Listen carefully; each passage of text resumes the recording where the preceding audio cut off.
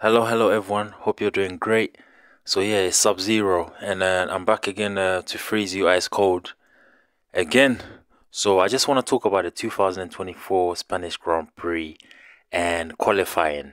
So um, qualifying went well, and Lando Norris put it on pole position, and he done he done it basically in the last like 20 seconds, basically. You know, like um, so he used um something called like track evolution. You know, so let's say um there's a 10 minute start yeah and when it goes down to like 30 seconds left you know the the, the one that crosses the track last year he's the one that's gonna get it uh, he could get the best time if he has a fast car because um you know everyone's cleared on the track and the track is free you know it gets a bit more stronger. So um lando did it. He took pole position his first pole position of the season and yeah it's gonna be a great um, race